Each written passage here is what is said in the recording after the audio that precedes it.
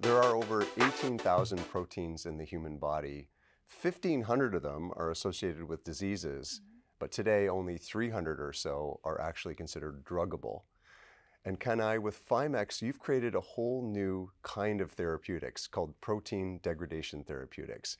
How is that going to enable us to tackle these 1,200 proteins that are not considered druggable today? FIMECS is developing a new class of drugs based on targeted protein degradation, which called TPD, for undruggable protein.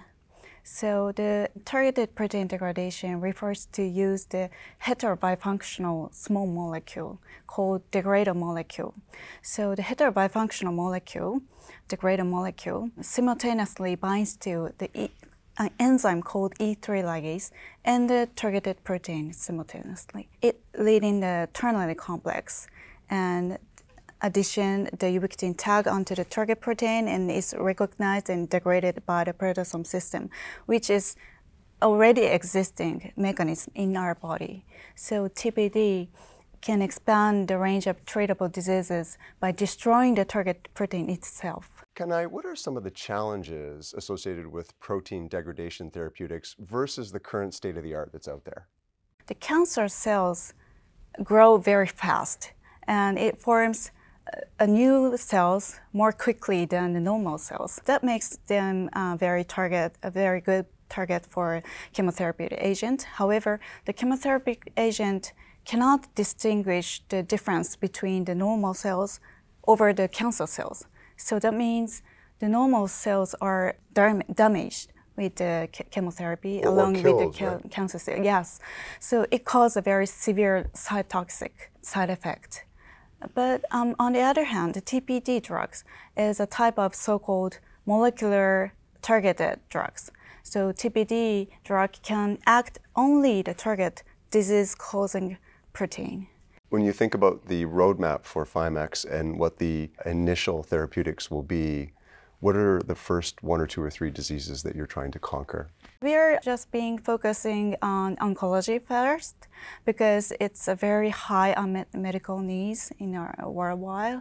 But our proprietary degrader discovery platform named Rapid System can be applicable for not only oncology but also other disease area. There's always a lot of challenges with governments and regulations in getting new thera- therapeutics Yeah. Out into the marketplace.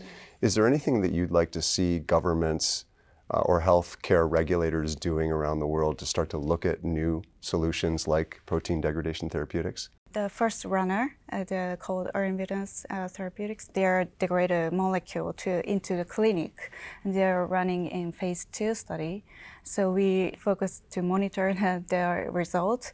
But actually, we do not have clinical development department internally, so we are actively seeking the out licensing partnership opportunity or start research even in more earlier stage, utilizing our uh, Rapid platform. Kanae, what was your motivation in coming to the KPMG Global Tech Innovator competition? Why is this really good for FIMECS? Personally, I lost my father from cancer 10 years ago, and so that is why I pursued the oncology drug.